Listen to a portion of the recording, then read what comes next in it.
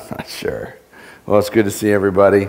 Always a joy to have this be a staple of our diet every week, to be able to come back and be recharged and hang out with God and His people. I appreciate you all coming and hanging out. Well, we are going to continue our, our series this week, Uncommon Sense, and it is true that common sense is not very common. And we've all made some mistakes over 2015, but it's a new year, and so we want to make some good choices, right? So we can have some good results.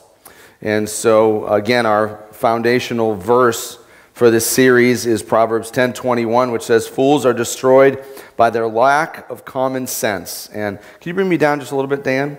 I appreciate it, just a hair. Um, and none of us want to be a fool. You know, I asked you guys last week, and I'll ask you again. If anyone show of hands, if you want to be a fool, raise your hand. Like nobody wants to be a fool, and so we want to make some good choices. And uh, our verse this week that we want to kind of start out with is Proverbs 16:25, and it was up on the screen a moment ago, and it says, "There's a way that seems right to man, but in the end it leads to death." So even though this little pinky pony, whatever the one it was that had this great idea to call the farmer, it didn't always end up uh, the way that it should, and that's like our life too. Um, Proverbs are filled with good advice. And, and, and that verse that I just shared with you, Proverbs 16 25, is, is repeated again, exactly as it's, as it's stated in another chapter of Proverbs. But then also in Proverbs 3 5, it says to lean not on your own understanding, but to seek God's will in all that you do, and He will make straight your path. Like, I don't want to take the, the, the bumpy road anymore. I've been, how many people thought 215 was the bumpy road?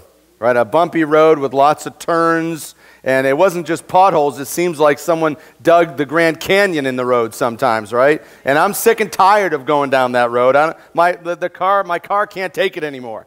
It's going to fall apart if I hit another pothole. And so I don't want to do that anymore. And so I want to do, I want to do things differently because uh, uh, you know, good choices, uh, generally speaking, end up with good results. Now, I understand that sometimes things come into your life and you have no say in it. You just stumble upon these things. But, but ultimately, the choices that we make personally will affect our condition the most. Would you agree that you have the greatest impact on your life here on this earth? Okay? And I, I agree with that. And so we want to make sure that we, we stop leaning on our own understanding. We want to seek out God's will. Like, what, should, what would He have me do in this situation? A lot of times we're going so fast, right, that we never take time to stop and even ask Him, What should I do? Anyone like that? Because I'm like that. I just, I'm go, right? And sometimes it's, it's no, it's sometimes it's slow, and sometimes you just have to talk and, and ask Him, you know? I remember uh, there's this pastor, his name is Francis Chan. Anyone ever heard of Francis Chan? He wrote Crazy Love. It was an awesome, awesome book. His church exploded, and it didn't literally explode like with dynamite, but it exploded in, in growth. And so they just needed a bigger building, and so they built this building. And then all of a sudden, after it was three quarters of the way done, he was sitting in his office one day, and he's like, oops. I never even asked God if we should build a bigger one. He never even asked. And, and, so that's what I'm talking about. We, we need to slow down and we need to talk to the Lord. You know, He really wants to hang out with you, He really wants to talk to you.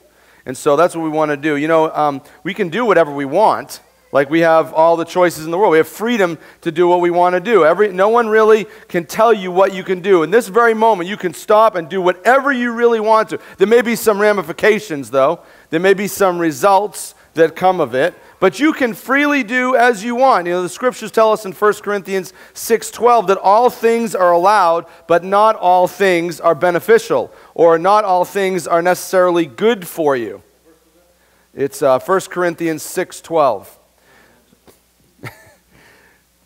all things are free. You can do it. You can do whatever you want. But not all things are beneficial. So, what do we do with this now? We're not supposed to lean on our own understanding. Our hearts are deceitful, they're wicked, they're, we, no one's deceived ourself more than ourself, right? And so, so, so what do we do with this? Okay, you, I ran you down this, this road now, and you're at a roadblock. What do, okay, you told me now that I, nothing I do is right. Okay, what do I do then? Okay, because tomorrow's coming, and I need to figure out what in the world I'm supposed to do. Okay, so let's just look at the scriptures. What does it tell us to do? There's, there's, a, there's, um, there's three verses in the book of Ephesians, chapter 5, uh, and they all sound alike. And let me read them to you, um, and, and, and then we'll dig into them a little bit deeper. Ephesians chapter 1, uh, Ephesians chapter 5, verse 1 says to imitate God in everything. Okay, that's a, that's a high watermark, but that's what he wants for us. He wants you to imitate him in all things. Uh, 5.10 says, carefully determine what pleases the Lord. And then in 517 it says, Don't act thoughtlessly, but understand what the Lord wants you to do. Now, if you think about those three statements, they're all kind of similar, aren't they? If you could just put a blanket over them and just broad brush the statements, you'd say, Well, God's just saying, Do like I do. Do what I do, and then you're going to be good. Would you agree that those three statements are all kind of the same? Imitate God in all that you do. Uh, carefully determine what pleases the Lord, and then don't act thoughtlessly, but, but actually, you know, understand what the, the Lord wants you to do. So, in other words, just do like I do. And if we do like he does, we're going to be good. We're going to, we want to think like him. We want to talk like him. We want to look like, we want to view people the way he views them, have compassion, all that. Everything like Jesus. That's what we want to do. And that's true. What would Jesus do? You should make a bracelet. It would hit. It would kill. Okay, so, so, so that's good, right? But there's some nuances to these three statements, and you have to slow down and you have to read them and examine them and let them speak to your soul. Okay, and that's what I want to do with you now. The first one is Ephesians chapter 5, verse 1, where it says, to imitate God in everything. Imitate God in everything. Now, choices, I'm a big choice guy. Choices are extremely powerful. Whatever you choose, you give power to that thing. You know, if you, if you choose to follow God, you're giving Him authority in your life. He's Lord no matter what you do, but He's not Lord of your life unless you choose to let Him be. So whatever you choose, you give power. So 5-1, imitating God in everything. This is kind of like the who and the what. What will I pursue? What will my life be about? I need to set some goals for my life. It's 216. It's a new year. It's a clean slate. But listen, New Year's resolutions, they never stick, right? They never, gyms are packed in January and they're, they're like crickets in, in, in, in July, right? New Year's resolutions don't stick. You know why? Because you can't do anything. Lean not on your own understanding. Like, it's good. It's good to lose weight. It's good to quit smoking. It's good to quit drinking. It's good to quit cussing. It's good to quit overspending. Those things are all good, but there's one thing that's even more important. You need to make some choices as to what your whole life will be about. Who will you be? You have to set some goals. What's my life all about? Put a bullseye on the wall. This is what I'm going after in 216. That's good. This is what I'm going after. This is who I'm going to be. The overall picture of, the, of my life is going to look like this. I want to be like God. I want to be a godly man. I want to be a godly woman. I want to be a godly wife. I want to be a godly husband. That's the choices that we should make. That's the first choice of 216 that you should make. I want to be a godly man. Do you want to be a godly man? Let me hear it. Do you want to be a godly woman? Let me hear it. Yeah, what about you? Do you want to be a godly woman? Say it. I want to be godly woman. What about you, John? Do you want to be a godly woman? you want to be a godly man, right? That's the choice that we should make. We should imitate imitate God in all things. That's why Romans 12, 2 says, don't copy the behaviors and customs of this world. And Ephesians 8, uh, 8 29 says, don't, it doesn't say don't copy the behaviors and customs of the world, but he says, be like my son. So the scriptures say don't copy the world, and it also says, no, copy my son. That's what he wants us to do. We have to imitate God in everything. We have to put up a target, have a goal, put up a bullseye, endeavor this. This is what I endeavor to do with my life. My purpose this year is to do this. This is what I want. You have to make that decision now. It's the beginning of the year. Let's make 216 a great year. Let's make this a year that God blesses you like crazy. And we come into 217 going, Lord, if it could just be as good as 216, that would be awesome. That would be incredible. We have to make this choice right, off, right out of the gate. Look, you ready, Robbie? You make the choice, God makes the change. You make the choice to imitate him, and he will make it happen. The one who began a good work in you will continue to do so until the day of Christ Jesus. He said in the scriptures that it is God who gives you the desire and the will to do what pleases him.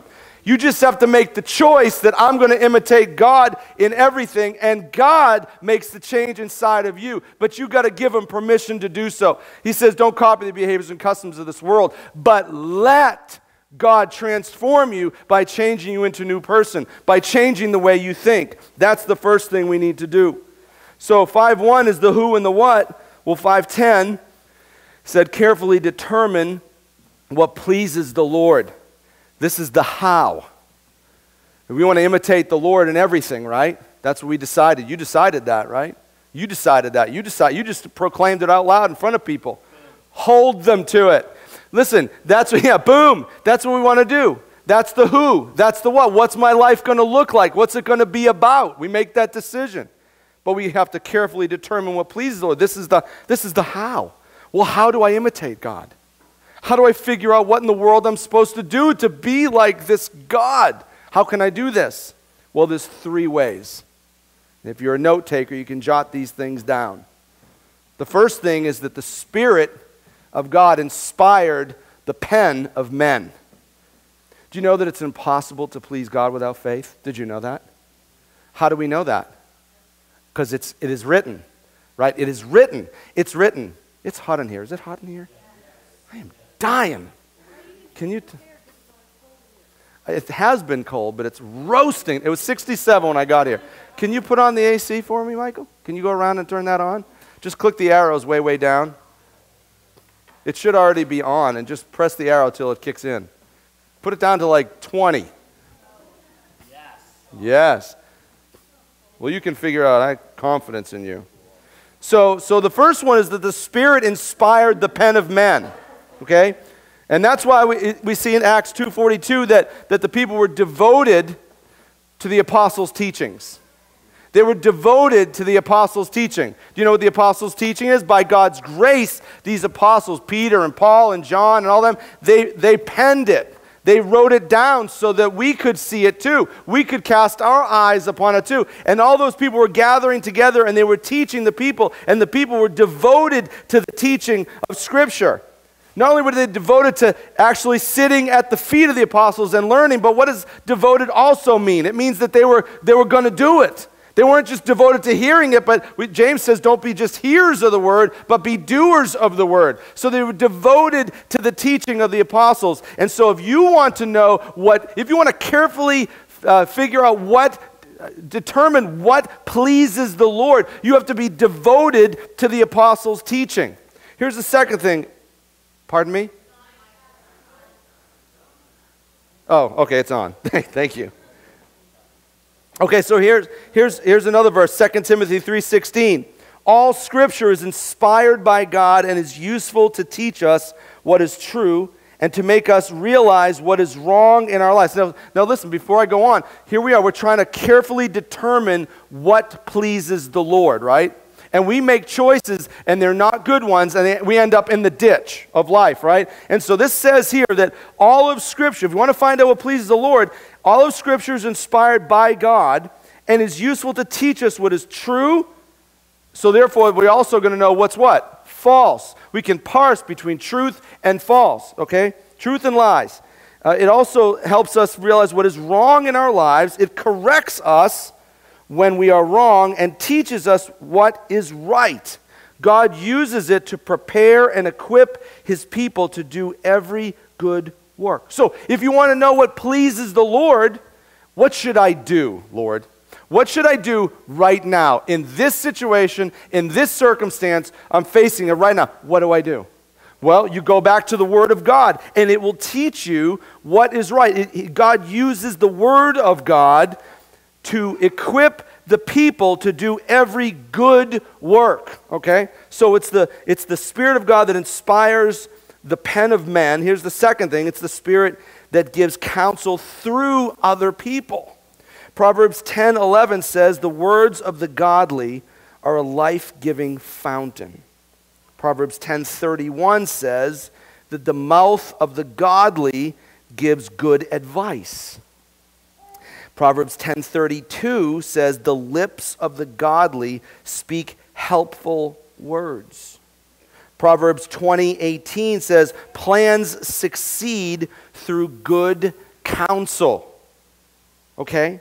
No, but the flip side to that is this it's Psalm 1 1. Oh, the joys of those who do not follow the advice of the wicked.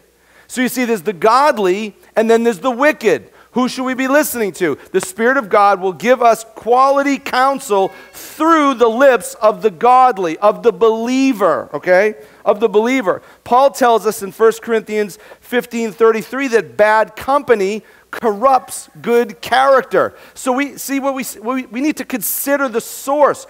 Who are we getting counsel from? We're supposed to be getting counsel through the Spirit's uh, word. It tells us what to do. And then also the Spirit can speak to us through the lips of the godly. So if they're a believer, if they're a person that you know is, is a Bible reading, on their knees praying, worshiper, that's someone you can listen to. And God will sometimes use those people to speak directly into your life. So He can speak through the inspiration of the pen, He can speak to you through godly people. And uh, here's, here's the third one. This is the best one, I think. I don't know. I guess they're all good. But God can personally counsel the believer Himself. He can do that. Do me a favor and go to Matthew 16. I know you're busy. Jared's going to go ahead and read this for us. You taking notes? Mental notes? Your, your phone's on record? I know, I can tell. Didn't you teach him not to lie?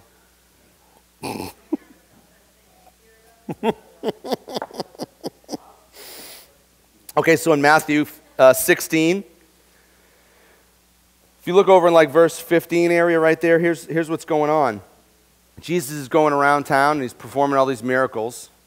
And everyone's in awe. The guy's a rock star, man, drawing crowds like crazy. And so he looks at, at his disciples and he says, Guys, who do the people say that I am? And they give him a bunch of mixed bag answers. And then he looks at them, he says, All right, that's cool what they think, but what do you think? Who do you, th- who do you say that I am? And Peter, you know, this is one of Peter's bold moments, and he steps forward and he says, You're the anointed one, you're the Messiah, you're the Son of the living God. Good answer. It was the right answer. He did something right for a change. Awesome. And Jesus praises him for it. He's like, You know, bless you, Peter. For you, no, no man even taught you that. Like, no one ever stood up at a church and told Peter this. He never read it out of a book. It says, No, my Father directly taught you that. So sometimes God will actually teach you directly. You don't even need to. I don't want to say, let me be careful when I say this. I don't want to say you don't need to read the Bible. You do need to read God's Word. But sometimes He will teach you something that you didn't even read. And sometimes he will teach you something that you didn't even hear out of somebody else's mouth. And you never heard it on a Billy Graham crusade on TV or some preacher. You just got it. Boom. And sometimes he does that. So he can, he can speak to you through his word, he can speak to you through other people, and he can speak to you directly. And one of the most um, beautiful things about God, uh, at least I think, is that He kind of gives us a visual aid. Um, there's a lot of religions out there. By the way, our, ours is not a religion, uh, it's a faith. A religion basically is what we try to do to get God to get close to us, and our faith is what God has done to get close to us, and we trust in that. But one of the things that I love about our faith is that it's unlike any other in that we get a visual aid.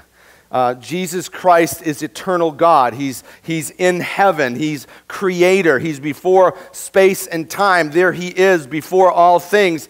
And all of a sudden, he comes down as a person so we know how to live. Like we, there's not a whole lot of guessing. There's, there's some things we have to get. Like if I said to me, to you, explain to me the Trinity. Like no one could really explain the Trinity. If I said, explain to me how God created heaven and earth, like we know that He spoke and out of His mouth, but how do you explain? Can you explain that? Like, I can't explain the, the, the way light just comes out of his mouth at 186,000 miles per second. I don't understand all that. I don't understand how the, the universe floats around with trillions and trillions of planets and stars and sun and, and meteors and asteroids and all stuff, and they don't hit us. Like, I don't understand how that happens. There's some things we just don't know. But when it comes to imitating God, He's given us a visual aid in the person of Jesus Christ. Colossians 1:15 says that Christ is the visible image of the invisible God. Do you know that nobody's ever seen the Father? Ever. He says of himself that no one can see me and live. No one has seen him but the Son. He has declared him. If you want to know God, you have to know Jesus Christ. He radiates God's glory. We reflect God's glory. That means we're, we're like the moon that reflects the light of the sun. It's not our light, is it? But Jesus doesn't reflect the light of the Father, He radiates the Father. That means the Father is inside of Him. All of the fullness of God was pleased to dwell in Christ. So if you want to know God the Father, look at God the Son. He and the Father are one. He and the Father are one. If you want to imitate God in everything by determining what pleases Him, right? If you, want to, if you want to imitate Him by determining what pleases Him, then look no further than the Son of God, whom at His baptism the Father comes down in a voice and says, This is my dearly beloved Son, who I am well pleased. Follow Him. So if you want to carefully determine what pleases the Lord, look at the Son because everything he does perfectly pleases the Father. You want to know what to do? Imitate Jesus Christ. Okay? Now, raw obedience is a great place to start, but there's so much more than raw obedience. See, we're called to his purpose. You see? It's good to just headlong into obedience. Jesus says jump, you just go, okay. That's cool, right? We, if Jesus says jump, we should do it. If you're sitting there and you feel that stir inside you that God's leading you to do something, you shouldn't ask questions about whether you should or shouldn't. You should just do it. Can somebody say amen? That was a good spot right there. That was as good a spot as you'll ever get. But listen, you shouldn't ask whether you should or shouldn't, but you should ask some questions because you're called to his purpose, okay? You're not just into radical obedience, thoughtless. And that's why the third thing in 517 in Ephesians says, don't act thoughtlessly, but understand what the Lord wants you to do.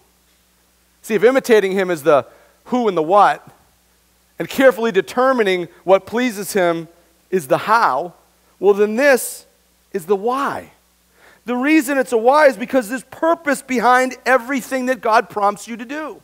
Whether you think it's good or bad, there's a reason why He's asking you to do it. What you doing here, Lord? Why me? Why now? What are you trying to teach my heart? What's the purpose behind what we're doing? Why? Why? Why? It's good to just have him say, do something, you go, okay. But if you just, okay, thoughtlessly, like the scripture says, don't just act thoughtlessly, but understand what the Lord wants you to do. Don't just do it, ask why. What's the purpose behind this thing that you want me to do? It doesn't seem right, Lord. It doesn't seem logical, Lord. It doesn't seem good, Lord. Why would you want me to do this, Lord? What are you trying to work on me, Lord? Don't just do it. Ask questions, inquire. Listen, if you find the reason, you find the purpose. And everything that He has you do is for a purpose. For a purpose. Do you know Proverbs 16 4, since we're in that book, says that the Lord has made everything for His purposes. Did you know that? Did you know that He's made everything for His purposes? Do you know that some things in this world right now are not acting according to His purposes, including some of us in this room? Did you know that? But you know what? Today could be different. today, right here, right now, you could make a choice to be used for His purposes. No longer will you serve the purposes of the world, but you will serve the purposes of God. That is why you have been created for His purposes. And you can make a choice right here, right now, to serve His purposes, to, to, to exist for the reason that you were created. That, my friends, is the straight path. When you're not functioning as designed, that's the bumpy road. That's the hurt road. That's the winding road that if you go too fast and too long, you're going to be in a ditch. But you can make a choice right now. I want to serve the Lord. I want to imitate God in everything I do. I want to carefully determine what pleases Him. I want to understand the things that He wants me to do. I want to be His person. I want to be His man. I want to be His woman. I want to be His kid. I want to be His father. I want to be His mother. I'm not His mother, but you know what I mean. You know. You can make that choice today. Everything that there is was created for His purposes. You were created for His purposes. I was created for His purposes your situation that you're in, and your circumstances. Guess what? They were created for His purposes, His commands. You guessed it. Guess what? What were they made for? His purposes. Everything on earth was created for His purposes. But you might say, well, my situation, you just, you, you, you, got, you got no idea. I don't have any idea. I have no idea what you guys go through the deepest, darkest waters that you have to go through, I don't know.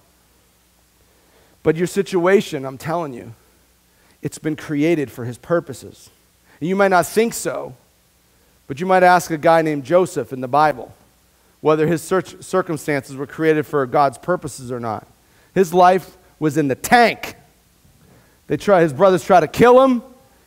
Some lady falsely accused him of rape. He's thrown in jail. His life was terrible. But his life ended up good. And he says at the end that what the enemy used for bad and harm and hurt, God used it for good. So his, his life was used for God's purposes. Well, your situation might be bad as well, but let me, let me, let me shine some light. Rather, let's God, let God's word shine some light onto your dark circumstance. You know, I, don't, I, don't, I hate to say some people got it worse than me. That's kind of a I don't, I don't like that one, you know. Kind of makes light of what they are going through, whatever. But sometimes when you hear something that's, I don't know, I guess considered worse than your situation, doesn't it make your situation feel a little bit lighter, maybe? Do you know what I'm saying? See, if I had a boo boo on my finger, that might hurt. But if someone had their, their, their, their arm lacerated from, from, from elbow to hand, like that would be worse. It'd make my boo boo not so bad. You know what I mean? So I don't understand what your situation is, but let, let's get, let God's, light, God's word shed some light on it. Go to John chapter 9, if you will. And, and let's just see if God uses all situations for his purposes.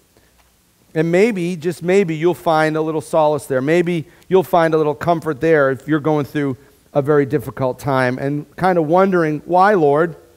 Why? I want to understand why? I want to know what's going on. Look at 9. Look at verse 1. You guys there? You there? You there? Okay, you ready? I'm going to read with you. So, so here's Jesus walking along, and he sees a man who had been blind from birth, congenital blindness, never saw anything. We take that for granted, don't we? Okay, never saw a thing. He's been blind since birth, and he's a man. So, and, and this was this was Israel, so a man back then is at least 13 years old. That's when you get bar mitzvah. In, in the Jewish faith, that's when you became a man. So this kid, this boy, this man now has been blind since birth. He has never saw a single thing for at least 13 years. Anyone have it that bad? Okay. Um, Rabbi, his disciples asked him, Why was this man born blind? That, would you agree that's a legit question? Okay, so if you're going through a tough time, is it okay to ask God? I mean, it's a lot of people, I'm, I'm saying this because a lot of people feel like that's wrong, that they shouldn't like interrogate God a little bit. Like, God, why? Why? Why would you do this? Why is it like this? And we're afraid like, like he's going to strike us down with lightning if we ask honest, heartfelt questions of God. And look at the scriptures say. These people are asking Jesus, legit, right to his face, why was this man born blind? Was it because of his own sins or his parents' sins? So back then, they believed that sin, like now, can cause issues in your life. And again, if, if I go out right now and get hammered drunk and get behind the wheel of my car and wreck, right, sin can hurt. Would you agree? Okay, so it could happen, but they also believe that because, like, if mom sinned, that he's going to pay the price for it. No, that's not it. Now look at look at here. Jesus answers. Uh, did he say it was because of his sins? Or did he say it was because of the parents? I mean, someone had a sin to cause this problem. And Jesus says it was not because of his sins or his parents' sins. Jesus answered, This happened. This man, this boy, now man, at least 13 years, totally blind, never saw a thing, tough situation, right? This happened so the power of God could be seen in him. And Jesus was about to do something crazy right here and solve a blind problem. But his circumstance was not payment for his sin.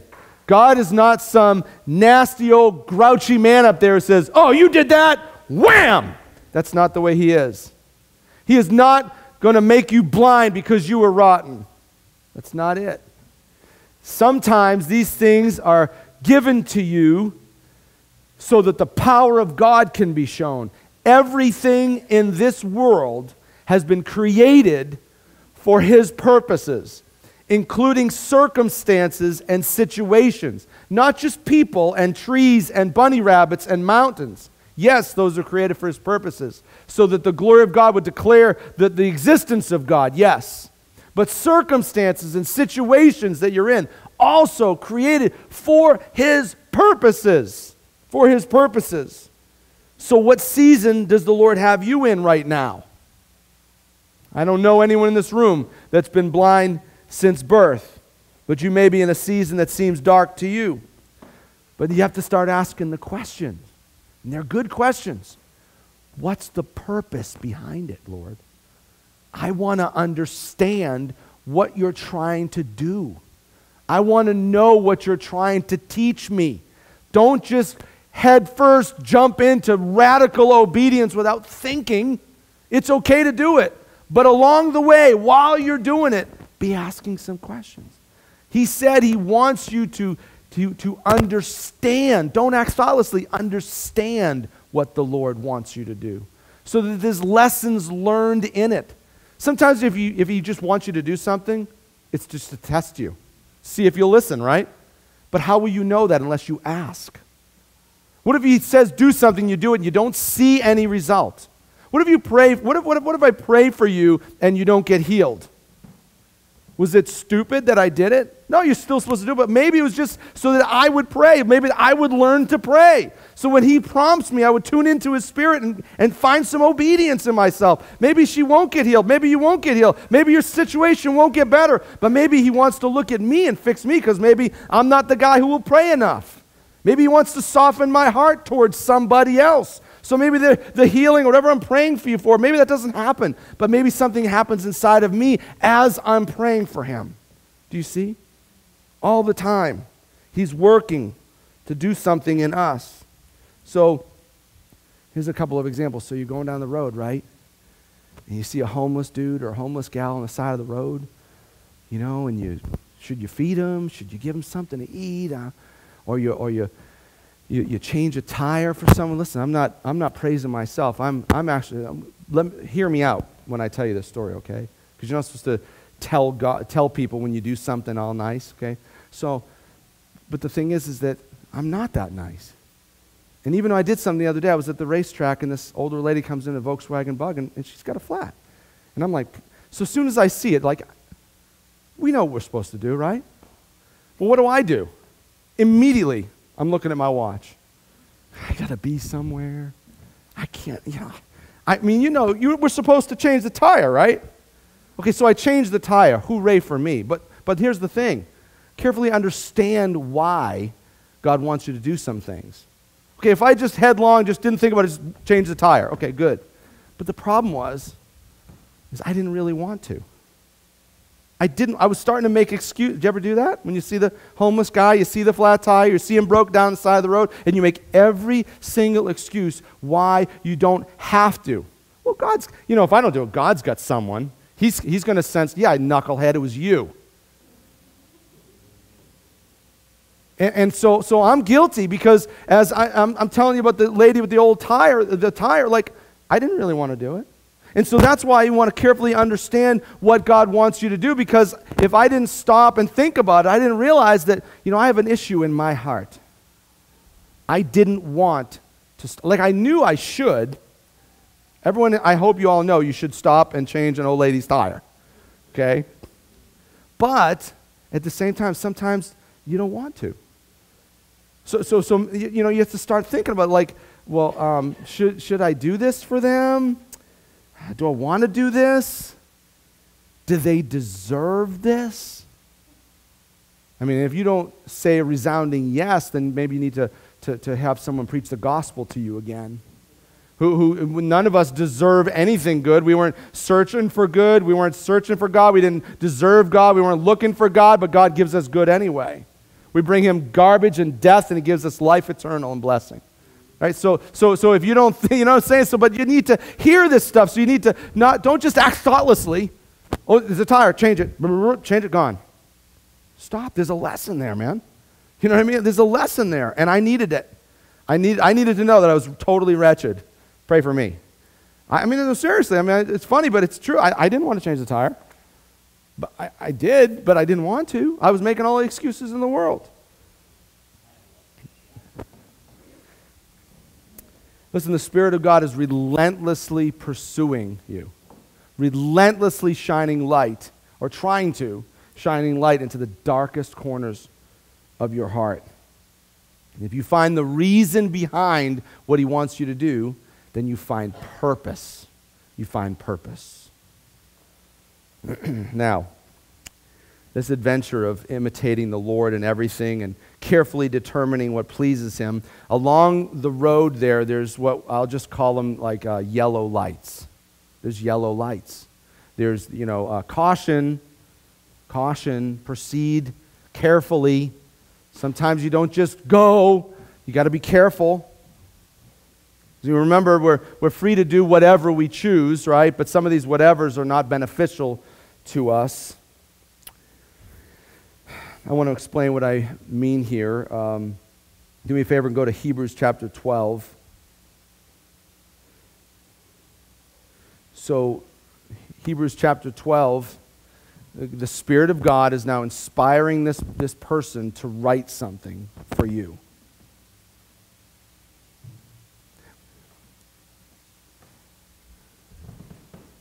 We're, we're trying to imitate the Lord in all things. We're trying to find out what pleases Him. We want to understand what He wants us to do. And, but we can do anything we want, but we got to be careful along the way. What is it, Lord, that you want me to do? I don't want to just act foolishly. I want to do the right thing. And so you see here in Hebrews chapter 12, he just finishes up chapter 11, which he's talking about these great people of faith that did these amazing things, even though there was like no proof before them to do it, but they did it anyway, trusting God. And so he says here in Rome in Hebrews chapter 12, therefore, since we are surrounded by such a huge crowd of witnesses or examples of the life of faith, let us strip off every weight that slows us down, especially the sin that so easily trips us up, and let us run with endurance the race God has set before us. So our Christian life is, is a race, but it's not a sprint. He's talking about endurance. If you've said yes to the Lord, that's awesome. He's your Lord and Savior. It's great to start out our faith, but it's great to finish well. And he says to, to finish well, sometimes you're going to have you're going to run into some kind of like yellow lights. We're going to have to strip off the weights that slow us down. We're going to have to set aside the sins that trip us up, the things that cause us to go off the road and into the ditch. I have a picture. I saw this this week as I was studying. I want you to read that and let it sink in. But sometimes these yellow lights, these weights that slow us down, they become anchors that stop us completely from proceeding in this race of endurance of a lifetime. And sometimes, if we're not careful, these anchors won't just stop us, but they'll suck us down underneath the deep waters where we will drown. And sometimes these weights have a name, and that person needs to be unfriended. And I know that the Bible says we should preach the good news to all people, but that doesn't mean they have to be your best friends. Sometimes these weights that slow us down are your friends. Let me ask you a question since we're talking about endurance running. How many people would run a marathon and before they did it, they'd load their pockets with bricks and rocks? Would that be smart? No, that would be stupid, right? So that's what he's saying here. If we're going to run a race and finish it and do it well, we got to empty our pockets of the weights that slow us down. Why? Look, we talked about acknowledging God's will in all that you do so it'll make your path straight. We want to take the good road. We want to take the, the blessed road. We want to take the road that's got all the potholes in it and all the bumps and bruises, and I don't want to get off the road into the ditch. I want the good, I want the good road. All of us do, right? So, so what do we do? We load our pockets with rocks? Well, that would be dumb. So he says we need to strip off these weights that slow us down. And sometimes it's people that we call friends. Look in Proverbs 22 24. It says, Don't befriend angry people or associate with hot tempered people, or you will learn to be like them and endanger your soul. Now, listen, there's more, there's more to, to a wicked person than just being hot tempered. This is just one thing. This is just one example that God uses. But He says to be careful and not to befriend certain people. Don't get too close. It's okay to dabble, to get in and, and share the good news and be a good witness to all people. It doesn't matter how wretched they are. But that doesn't mean you have to befriend them all. So you can't escape people like this anywhere in this world, but you can keep some appropriate space from these people. And that's why Paul says in 1 Corinthians 15:33 like I share with you, bad company corrupts good character. See, we think that, you know, some of us anyway, all too often, I'm a Christian now. I'm ready. Let me at him. I, I, I can go into any situation with any person and I got this. And you go in, and, and, and I'm not a demon behind every rock guy, but you walk into a situation and every demon behind every rock jumps all over you and you're done. So you think you got it all figured I'm a Christian now. Listen, Bad company corrupts good character. See, we want to be able to switch the verse, don't we? Good company is going to make everybody better. As soon as I get there, I'm going to bring Jesus in. And they're all going to become Christians and they're all going to be good people. Well, that's not the case. Bad company corrupts good character. So you have to be careful.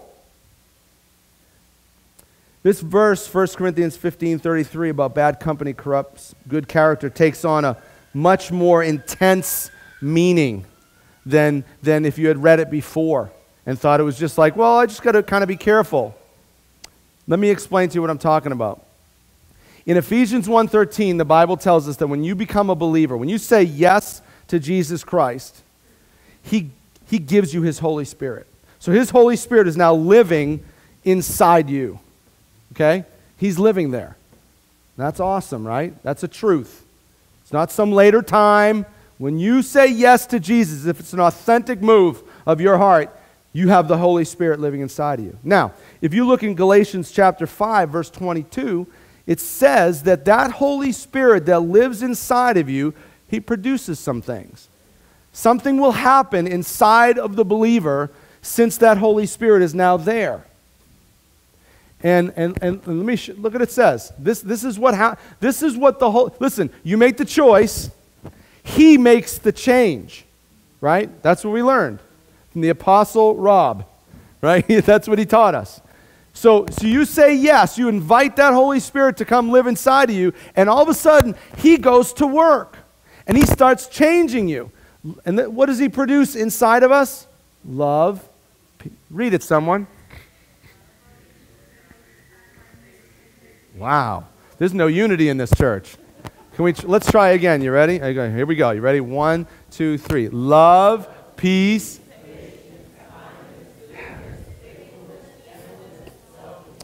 Yeah. Yeah. So so so if if if the if a person is showing these character traits increasingly, right? Then then what? Spirit indwelled, spirit led, spirit producing something, saved, right? That's a saved man or a woman. We see this happening saved, right? That's a godly person. This is evidence. Do you agree? Everybody? Okay. So so if this is true, but if not, and instead they're showing, you know, busting out of the neck, red hot temper tantrum, screaming man, you know, mad about everything, hot tempered like crazy, and not showing love and peace and look, it's the opposite. Right? So if the Holy Spirit is inside of you, evidence to that would be an increasing display of love and peace and patience and kindness, goodness, faithfulness, gentleness, and self control.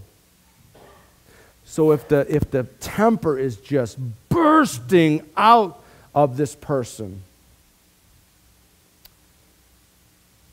perhaps no spirit perhaps no saved. I, am not, I'm not telling you you're not saved. I'm saying evaluate. It's good to. It's not in there? Amen.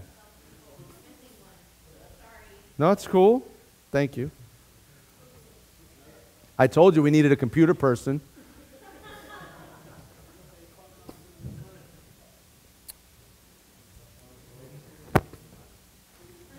So, so Proverbs 22 24, which says, Don't befriend angry people or associate with hot tempered people, or you'll learn to, to be like them and endanger your soul. You know, this, you know what the, the soul is? It's that immaterial part of who you are. It's, it's actually, you know, like Jared is not his flesh and bones and hair and skin. Like, that's not, this is his tent. This is just what God gave him. Good or bad? Mom and wife are here, so real good, real good. but that's not who Jared is. Jared is, is his character and his worldview and his perspectives and his priorities. It's, it's, it's his soul. It's his soul, right? And, and, and that's the part of who he, that's the part that's going to one day get a new body. That was a good place for an amen. know, and, and it's going to live with Jesus forever in a new heaven and a new earth. Like that's the that's the part. And so what this is saying here is that if you befriend yourself with people that are the, the ungodly, that you're endangering your soul. Now, I don't, I'm, Listen, some people would say that maybe you wouldn't be saved. Some people would say you just maybe bruise your soul or something. Like, I'm the pastor's telling you, I don't know, because it doesn't say. But it says this if you hang out with them people, bad company corrupts good character, and, and it, can, it can endanger your very soul to hang out with those people. It's in danger of becoming like them. So if you hang out with with, with flesh led, carnal minded, poor choice, hot tempered, the Bible would explain, uh, would define that person, uh, and this is true, as a fool. It's all through Proverbs. They're fool. If you associate as intimate friends with a fool, you're endangering your very soul to become just like them. Okay? So you have to guard our friends list. They can slow you down badly, and some people need to, to not make uh, the short list. Everybody needs to hear the good news for all people that Christ came to take away the sins of all mankind. But your friends, they need to be like minded. Okay? Your, your very best intimate friends, if you're a Christian, they should be Christ followers. Okay? That, because if not, you're endangering, listen, this is, I'm, I'm loving you now. You're endangering your soul if you are intimate with these people. If you're a Christ follower that spends all day immersed at the hotel with your drug addict friends and you were once an addict, bad company corrupts good character. Guess what's happening? You're going down. It, it's inevitable that's what's going to happen. And so the Word of God is giving you a harsh warning don't hang out with them, or you may endanger the very soul that's inside of you. Interact with all people, but friends with only some. Uh, in Proverbs 6, Solomon would simply put it this way He'd say, Can a man scoop a flame into his lap and not have his clothes catch on fire? Just listen. Can he walk on hot coals and not blister his feet? You see, what he's saying here is that if you hang out with fools, if you immerse yourself in, in this corruption and wallow in it all the time, if you seek advice from the ungodly, then that's the fire that, if played with, will burn you. Inevitably, it's going to happen. And so we need to be careful who we hang out with, who we accept advice from. You know, I was recently counseling this, this young man from our church because he was going through some, some stuff where he was being uh, guided and, and, and taught uh, certain things. Not, and not, it wasn't even like deliberate, like sitting down with a book teaching him, but just being taught the lessons of life and stuff in a certain way. And he was hearing this over here, but he was also hearing, you know, this over here. And he was conflicted. He didn't know really what to do. Now, this was the advice of his stepdad as I heard it on speakerphone in my car, telling him to come over. What do you have? Because I have some beers, and I think it was like some whiskey, and what are you bringing over? And this kid was trying to stop drinking. And his stepdad is telling him this. And he's like, what? And he look, so he hangs up the phone. I didn't say anything. And he looks at me, he's like, man, I don't, what, what, what, what am I supposed to do? What am I supposed to do? And so I asked him, I just asked him calmly, I said, let me ask you a question. This person that you're on the phone with, okay, stepdad, get it. Does he have the same, and I pulled out my Bible next to me in the car, I said, does he have the same truth standard that you do? I mean, does, does, has he decided that this is what's right? Has he made the decision that he's going to imitate God in everything? Does he have a, like we talked about last week, the foundation? Does he have a fear of the Lord? I mean, is, does he agree that this is the truth? And he's like, well, no. And I just looked, I said, consider the source then, bro. Don't listen to him. Don't listen to a word he has to say. Bad company corrupts good character. And you got to sometimes make harsh choices to avoid people that are going to suck you down and bring hurt into your life. That's, I mentioned earlier about Acts 2.42, where they were devoted to the apostles' teaching. Well, the verse goes on. And it says something else. It says, not only were they devoted to the apostles' teaching, you know, the Word of God, they were devoted to, to reading it and hearing it and living by it. But you know what else were they devoted to? They were devoted to the fellowship, to the sharing of meals, and to prayer. Those were the things they were devoted to. So, four things this, the fellowship, you know what the fellowship is? That means joining arms with like minded people for a common goal. We're pursuing Christ together. That's what we're doing here. We're a family of faith. We're pursuing the Lord together. We're serving Christ together. That's the fellowship. Okay? Like minded people joining arms. We are friends. We are close. We are partners in this. We're co laborers in the faith. They were devoted to those two things. They were devoted to sharing of meals. That's an intimate thing. You don't just grab strangers off the side of the road and start inviting them over for dinner. Like some people want to practice hospitality. I get it. But not just strangers. You know what they do? They shared meals together, they, they loved one another. These were, these were believers that got together and broke bread every day and prayer. They wanted to hear good advice. They wanted to have good guidance, not just from anybody. So they were devoted to the family of faith, to the Word of God, to the people of God, to the Spirit of God, to the presence of God. That's what they were devoted to. So it wasn't just the Bible, but they were devoted to the fellowship. Now, one last thing I want to do with you. I would ask you to go with me to Proverbs chapter 7. Proverbs chapter 7, I mean, it could, it's a, it's a sermon into itself, really, but Proverbs 7 is a, is a great, I, I can't talk about this stuff, about imitating God and everything, and, and carefully determining what pleases the Lord, and understanding what He wants you to do, and choosing good friends, and making sure you're going down the right path.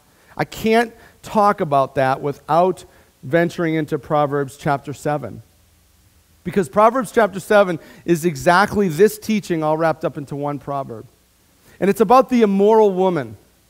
But, but you know what? It's, it's, it's, it's, it's like poetic imagery here. Okay, it's not just about the immoral woman who sucks this guy into her den of iniquity. It's about any temptation, anything that is wicked that, would, that you'd venture into. And here's a careful warning about this. And I would say that the one thing that, that, that, that stands out the most is this one section of Ephesians 5, which says in verse 17 of the three that we talked about, which is don't act thoughtlessly about stuff. Like you got to be thinking about these things. Because if you're not thinking, if you're not aware of your surroundings and thinking and praying and, and, and seeking godly counsel and, and paying attention to what you're doing, you're going to go off into the ditch, right? So this is what it says Follow my advice, my son. Always treasure my commands. Obey my commands and live. Guard my instructions as you guard your eyes. He says, tie them, to, tie them on your fingers as a reminder. Write them deep within your heart. So you see, he's saying that this is important.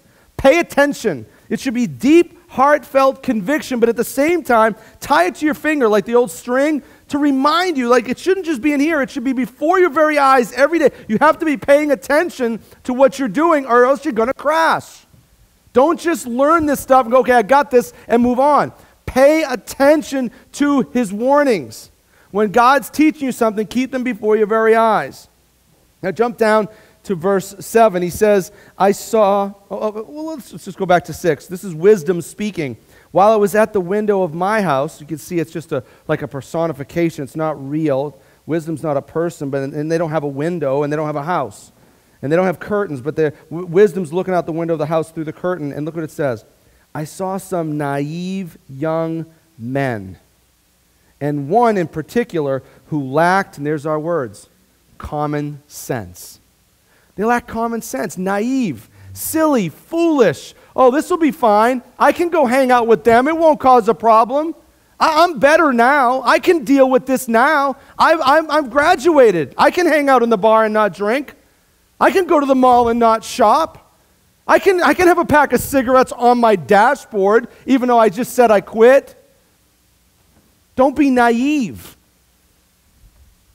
Don't be naive. And one who lacked common sense, one in particular. Now look what happens here. He was crossing the street near the house of an immoral woman, strolling down the path by her house. Do you see this? Here's the warning. If there's problems, look what this person was doing. He was getting close, wasn't he? He was near the house. He was strolling. It didn't say he was walking with intention to get by it. He was strolling down the road.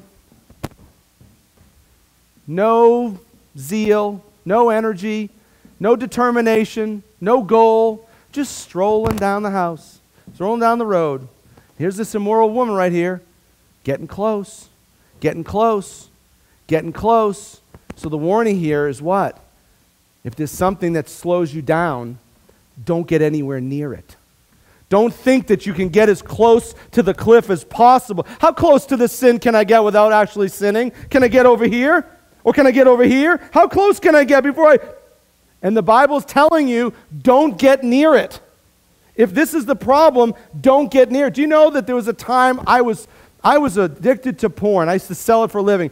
I was so into it that I couldn't even walk into, a, into like a 7 Eleven where the magazines were, you know, with the pretty girls.